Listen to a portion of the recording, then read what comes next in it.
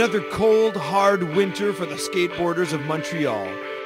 The streets were still frozen, but the skaters' hearts were bubbling with steam as the ice slowly melted when the pros came to town. ES Demo in Montreal. Benny Fairfax, Scott Furquet, Eric Koston, Rick McCrank, and Justin Eldridge.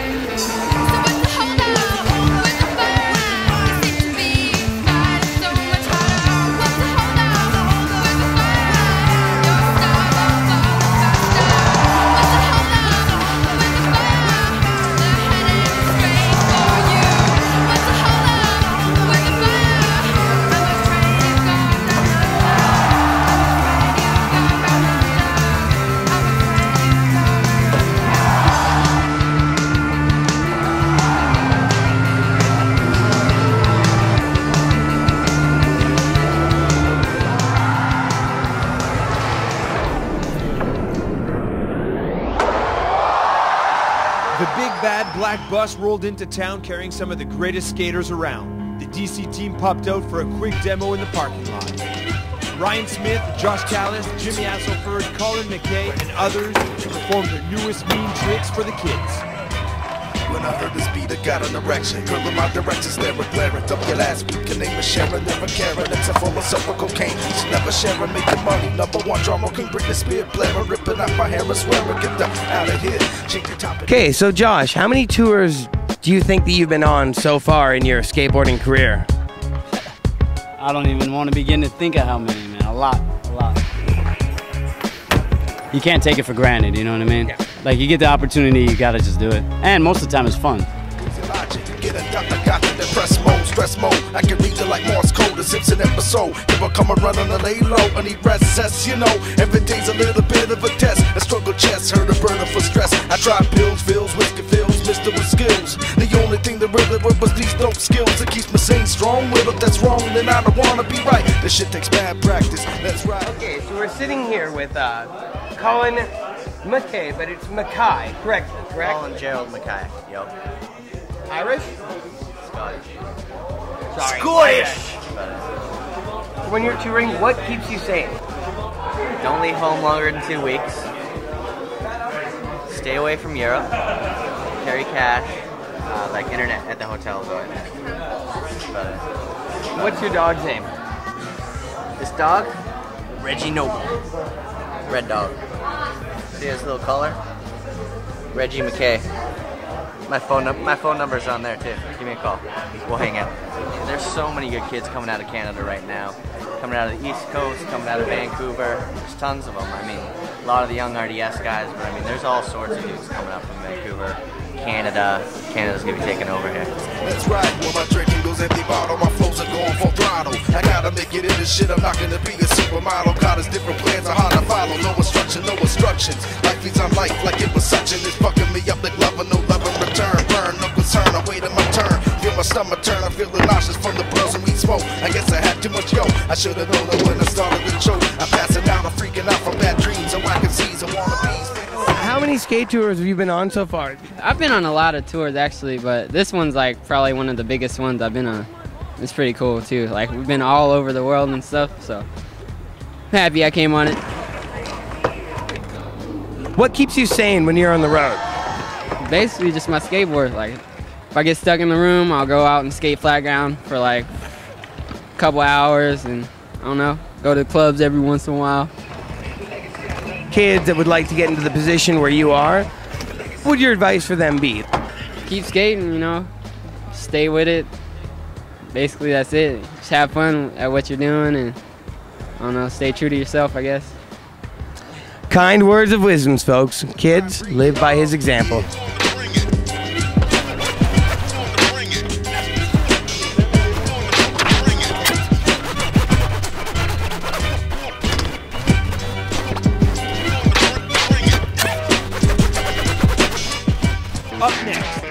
Demo, RDS demo, hot shot contest, and a mystery demo.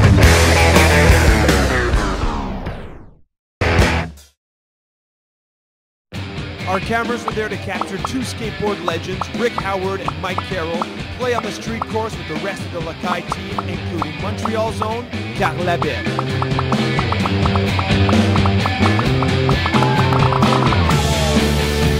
This is our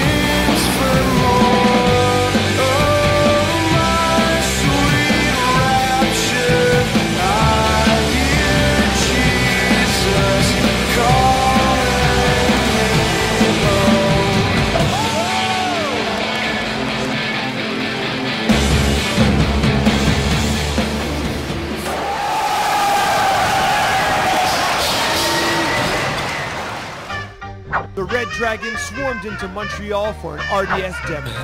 The boys in RDS shine like stars as they threw down trick after trick. Welcome to Mr. Jam on the beats. Uh. What? Yeah. Doing this shit a minute, kid. Talk to me. Yo, it was all a dream. Me and my brother Shaq, him and Rakim. A black crib, puffing LC and ourselves on the screen. Our pictures in the magazine, we up in the limousine. In suede bally silk shirts and jeans with the Gucci seats. I beat boxing niggas slow till we was dizzy. My manager Mo, Chuck Fresh, G Money with Louie and Wiz. Those was my favorite days when I turned back the page. And every day we did a show, the staircase was the stage. And yo, the name of the group, it was Rasha Shy. Whoever thought that hip hop would make it this far? At 16, we did our first real show at the Nick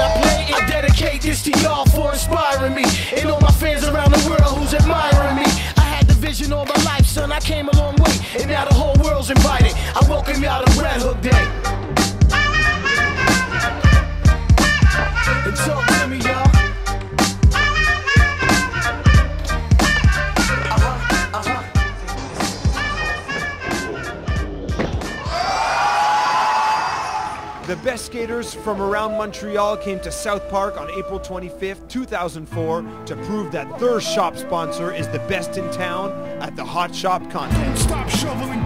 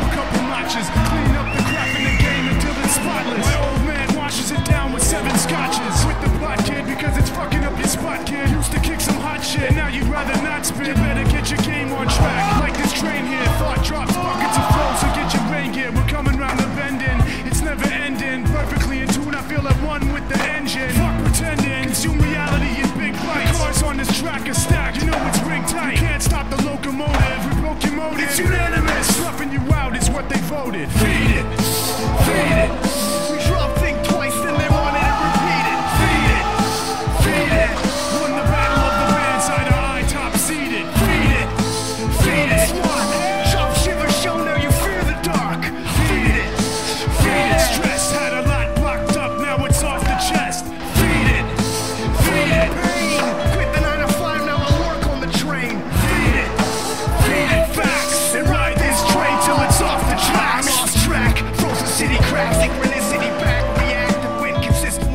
where my dog's at. Vintage pedigree attack. Fuck the barking, I dug the market. Now I own the treasure. This endeavor to forever stay clever and ride this train till the wheels gray and sever. Doing shots of Molotovs to make a mild mess. Hear the gunshots rattle off through the Wild West.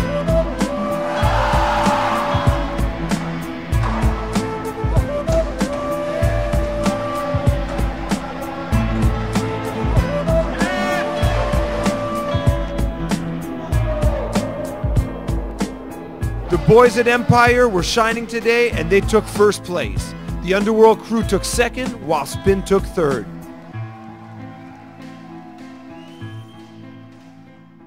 Up next, Jamie Thomas and the Mystery and Zero team.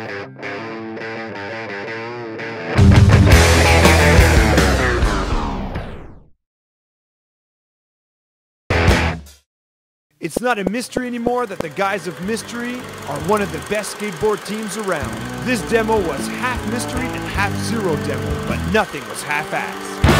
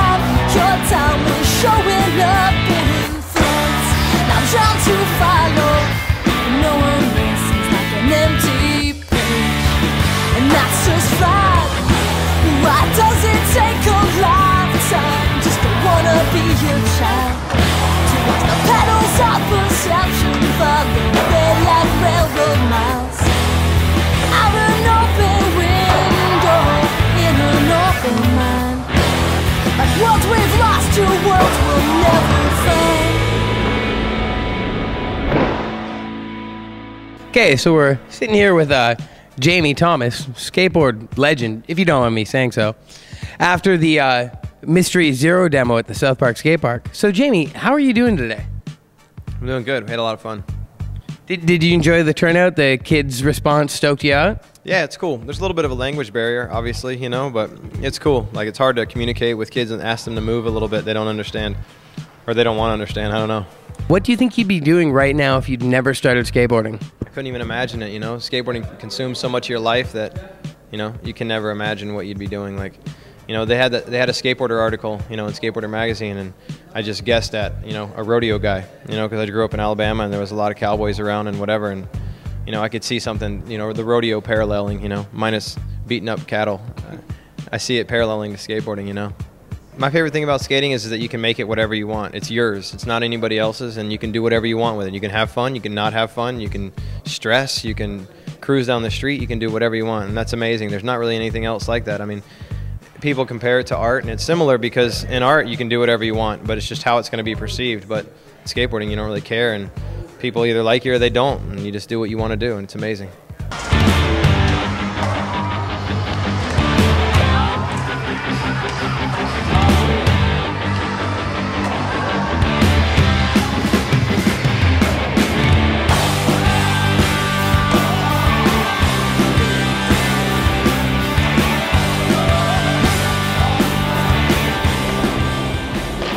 How did you enjoy the demo today, Ryan?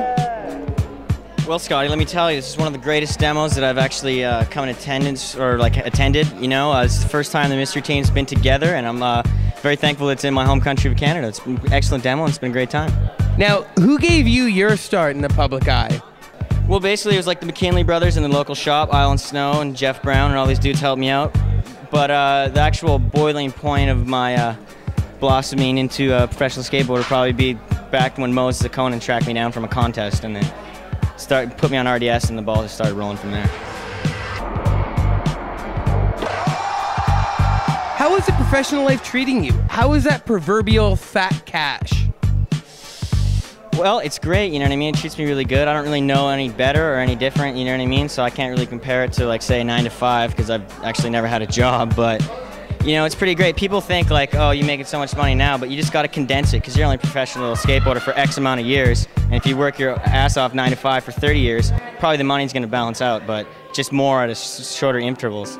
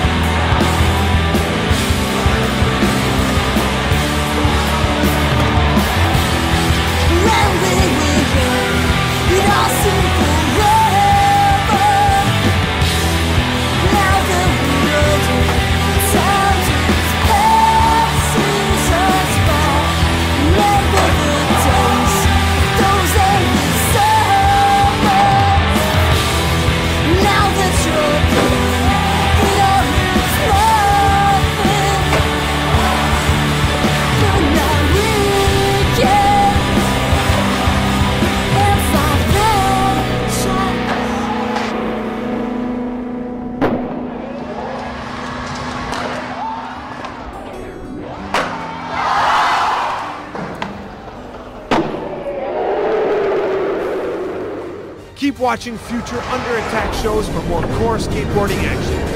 Get off your ass and go skate.